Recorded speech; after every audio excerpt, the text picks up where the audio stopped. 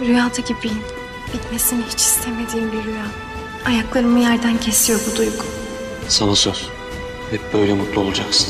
İçin en güzel hazinesin Dilan. Bakmaya doyamadığım bir hazine.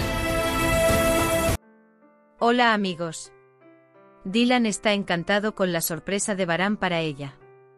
Dylan está muy feliz mientras baila con Baran. Él expresa esto diciendo que soy como en un sueño. Luego dice que no quiero que este sueño termine nunca. Este sentimiento me barre de mis pies. Después de estas palabras, Baran le dijo a Dylan. Él te promete que siempre serás feliz así. La comida ha terminado. Regresan a la mansión. Es obvio de cada situación que no pueden salir del efecto de la noche. Baran desata el cabello de Dylan y le da un pequeño beso en la mejilla. Eres el tesoro más hermoso para mí, Dylan. Es un tesoro del que no me canso. Ellos son bastante felices.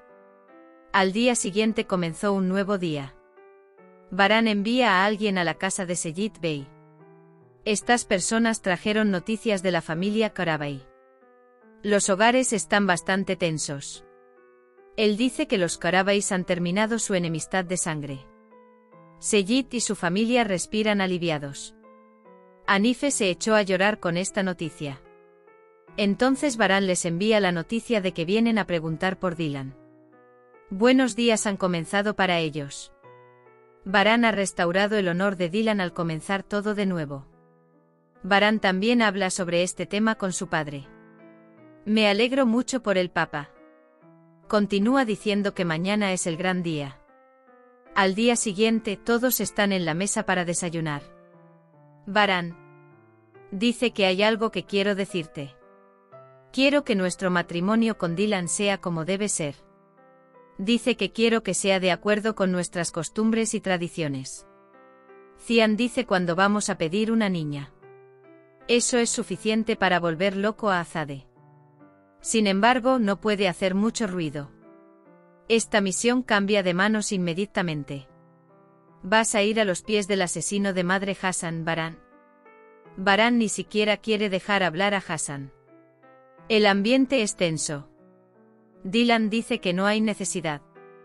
Dice que no quiere ninguna tensión. Dice que no tengo derecho a pedirlo. Aunque Baran intenta ser solidario, hay silencio por un rato. Mientras tanto, llega el esperado discurso. Señor Kudret.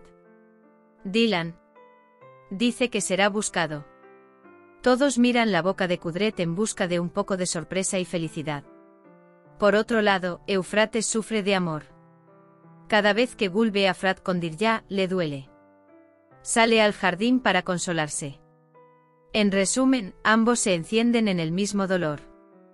Frat también se sienta detrás de Gul en el jardín. Ay mi sonrisa. Se dice que pones brasas en mi corazón. Hemos llegado al final de otro vídeo. No olvides suscribirte a nuestro canal y activar las notificaciones. Además, sea el primero en enterarse de nuevos vídeos activando las notificaciones. Cuídate. Adiós.